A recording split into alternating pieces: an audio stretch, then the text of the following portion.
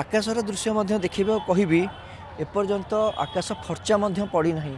ଆକାଶ ଆଉ କିଛି ସମୟ ପରେ ଫର୍ଚ୍ଚା ପଡ଼ିବ ଏବଂ ଆପଣ ପୁରା ଦୃଶ୍ୟ ଦେଖୁଛନ୍ତି କେତେ ସୁନ୍ଦର ଦେଖାଯାଉଛି। ପୁରୀ ଶ୍ରୀମନ୍ଦିରର ପରିବେଶ ସମ୍ପୂର୍ଣ୍ଣ ସବୁଜ ବନାନୀ ମଧ୍ୟରେ ପରିବେଶ ରହିଛି। ଗଛ ପତ୍ର ଆପଣ କେତେ ସୁନ୍ଦର ଭାବେ ଦେଖୁଛନ୍ତି ସଜା ହୋଇଛି। ଯେଉଁ ଭକ୍ତ ଶ୍ରଦ୍ଧାଳୁ ଆସିବେ ସେମାନେ ଶ୍ରୀମନ୍ଦିର ଚତୁଃପାର୍ଶ୍ୱରେ ଯଦି ପ୍ରଦକ୍ଷିଣ କରିବେ ନିଶ୍ଚିତ ଏହାର ସୌନ୍ଦର୍ଯ୍ୟତାକୁ ମଧ୍ୟ ସେମାନେ ଉପଭୋଗ କରିବେ। ଇଏ ପୁରା ଦୃଶ୍ୟ ଆପଣ ଦେଖୁଛନ୍ତି ଶ୍ରୀମନ୍ଦିର ସିଂହଦ୍ୱାର ଅଞ୍ଚଳର ଦୃଶ୍ୟ। ସମ୍ପୂର୍ଣ୍ଣ ଭାବେ ସୁସଜ୍ଜିତ କରାଯାଇଛି ସିଂହଦ୍ୱାର ପରିସରକୁ। ଏବଂ ଆମେ ଟିକେ ଚେଷ୍ଟା କରିବା ବାହାରକୁ ଯିବା। ପ୍ରତିକ୍ରିୟା ନେବା ମଧ୍ୟ ଭକ୍ତ ଶ୍ରଦ୍ଧାଳୁଙ୍କର ପ୍ରତିକ୍ରିୟା ନେବା। କାରଣ ବ୍ୟାରିକେଡ଼ ବାହାରେ ଯେଉଁ ଭକ୍ତ ଶ୍ରଦ୍ଧାଳୁମାନେ ରହିଛନ୍ତି ଆ, ସେମାନଙ୍କର ମଧ୍ୟ ଆମେ ପ୍ରତିକ୍ରିୟା ନେବା। ସିଂହଦ୍ୱାର ଫିଟା ନୀତି ତ ଆଉ କିଛି ସମୟ ପରେ ଅନୁଷ୍ଠିତ ହେବ। ଭିତରଛ ମହାପାତ୍ର ଆଉ କିଛି ସମୟ ପରେ ଆସିବେ। ତା ପୂର୍ବରୁ ଦେଖନ୍ତୁ ଅରୁଣ ସ୍ତମ୍ଭ ପାଖରେ ମଧ୍ୟ ଅନେକ ଭକ୍ତ ଶ୍ରଦ୍ଧାଳୁ ଠିଆ ହୋଇଛନ୍ତି।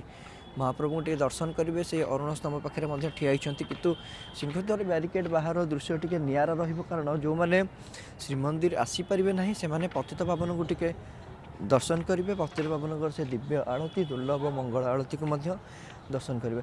ଏ ପୁରା ଦୃଶ୍ୟ ଦେଖୁଛନ୍ତି ଆଉ କିଛି ସମୟ ପରେ ନିହାତି ଭାବରେ ଆସି ଆସି ପହଞ୍ଚିବେ ଭିତରଛ ମହାପାତ୍ର ଆସି ପହଞ୍ଚିବେ ଏବଂ ସିଂହଦ୍ୱାର ଫିଟା ନୀତି ସମ୍ପନ୍ନ ହେବ। ସମ୍ପୂର୍ଣ୍ଣ ହରିବୋଲ ହୁଳହୁଳିରେ ଜୟ ଜଗନ୍ନାଥ ଧ୍ୱନିରେ ସମ୍ପୂର୍ଣ୍ଣ ସିଂହଦ୍ୱାର ପ୍ରକମ୍ପିତ ହେବ। ଇଏ ଭକ୍ତ ଶ୍ରଦ୍ଧାଳୁଙ୍କର ଭିଡ଼ ଦେଖୁଛନ୍ତି ଇଏ ହେଉଛନ୍ତି ବ୍ୟାରିକେଡ଼ ବାହାରର ଦୃଶ୍ୟ। ବ୍ୟାରିକେଡ଼ ବାହାରେ ଅନେକ ସଂଖ୍ୟାରେ ଭକ୍ତ ଶ୍ରଦ୍ଧାଳୁ ଠିଆ ହୋଇଛନ୍ତି ଏବଂ କଡ଼ା ସୁରକ୍ଷା ବଳୟ ମଧ୍ୟରେ ମଧ୍ୟ ଠିଆ ହୋଇଛନ୍ତି। ଚେଷ୍ଟା କରିବା ସେମାନଙ୍କର ମଧ୍ୟ ପ୍ରତିକ୍ରିୟା ନେବାକୁ ପୂର୍ଣ୍ଣ ରୂପେ ଆପଣ ଦେଖୁଛନ୍ତି କେତେ ସଂଖ୍ୟାରେ ଭକ୍ତ ଶ୍ରଦ୍ଧାଳୁ ଠିଆ ହୋଇଛନ୍ତି ଆମେ ଟିକେ ବାହାରକୁ ଯିବା ବାହାରକୁ ଯାଇ ମଧ୍ୟ ଭକ୍ତଙ୍କର ପ୍ରତିକ୍ରିୟା ନେବା ଯେହେତୁ ମହାପ୍ରଭୁଙ୍କୁ ଦର୍ଶନ କରିବାକୁ ଅନେକ ସାରା ଭକ୍ତ ଶ୍ରଦ୍ଧାଳୁ ବ୍ୟାରିକେଡ଼ ବାହାରେ ଠିଆ ହୋଇଛନ୍ତି।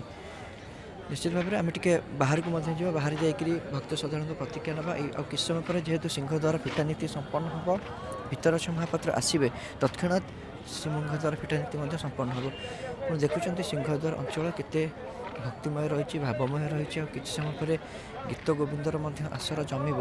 ଅନେକ ସଂଖ୍ୟାରେ ଭକ୍ତ ଶ୍ରଦ୍ଧାଳୁମାନେ ଠିଆ ହୋଇଛନ୍ତି ମହାପ୍ରଭୁଙ୍କୁ ଦର୍ଶନ କରୁଛନ୍ତି ପ୍ରଭୁ ନୀଳଚକ୍ରଙ୍କୁ ମଧ୍ୟ ଦର୍ଶନ କରୁଛନ୍ତି ପତିତ ଭବନ ବାନାଙ୍କୁ ମଧ୍ୟ ଦର୍ଶନ କରୁଛନ୍ତି। ଇଏ ଗୀତ ଗୋବିନ୍ଦର ଗୀତ ଗୋବିନ୍ଦର ଆସର ମଧ୍ୟ ଜମିବ। ଇଏ ପୁରା ଦୃଶ୍ୟ ଆପଣ ଦେଖୁଛନ୍ତି ଭକ୍ତ ଶ୍ରଦ୍ଧାଳୁମାନେ ବସିଛନ୍ତି ଗୀତ ଗୋବିନ୍ଦର ମଧ୍ୟ ଆସର ଜମିବ ଏଇନେ।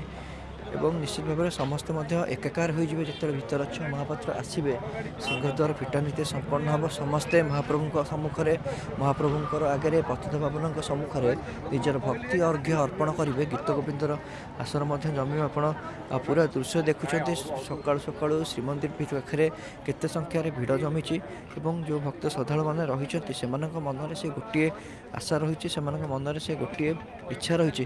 କେତେ ଶୀଘ୍ର ଶ୍ରୀମନ୍ଦିର ଫିଟିବ ଏବଂ ଆମେ ଯାଇ ମହାପ୍ରଭୁଙ୍କୁ ଦର୍ଶନ କରିବୁ। ମହାପ୍ରଭୁଙ୍କ ସେ ଦିବ୍ୟ ଦୁର୍ଲଭ ମଙ୍ଗଳ ଆଳତୀକୁ ଯାଇ ଦର୍ଶନ କରିବୁ। ଏ ପୁରା ଦୃଶ୍ୟ ଆପଣ ଦେଖୁଛନ୍ତି ସମସ୍ତେ ଲୀନ ହୋଇଯାଇଛନ୍ତି ଏକାଗ୍ରତାରେ କାରଣ ମହାପ୍ରଭୁଙ୍କୁ ଟିକେ ସ୍ମରଣ କରୁଛନ୍ତି। ସିଂହଦ୍ୱାର ଫିଟିବା ପରେ ହିଁ ତାଙ୍କର ଆରମ୍ଭ ହେବ। ଗୀତ ଗୋବିନ୍ଦର ଆସର ଜମିବ।